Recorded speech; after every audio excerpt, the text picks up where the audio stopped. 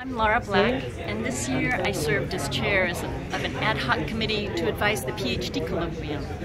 In recent years, we've observed that increasing numbers of PhD candidates are undertaking their research using system dynamics without on-site guidance from experienced system dynamicists.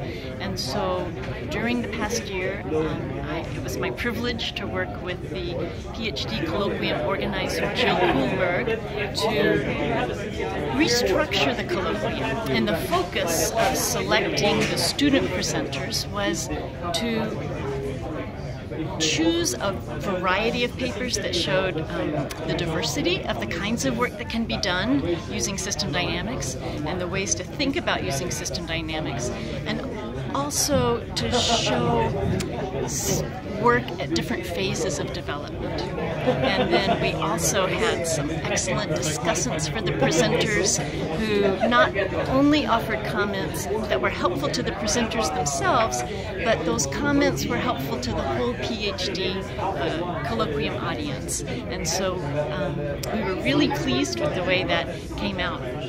Another innovation we used for the PhD colloquium was um, when students submit, they can be accepted to present uh, their papers in a PhD colloquium plenary, or they can uh, become part of a poster session uh, for the colloquium.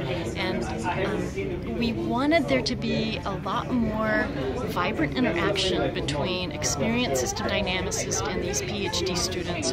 Um, and especially for those who um, are in situations where they feel like they don't have sufficient resources to system dynamics expertise. And so what we did was we established a program called Angel Advisors, and we sent out an invitation to a couple of hundred um, system dynamicists in the society and invited them to invest in early stage research uh, for a bounded time.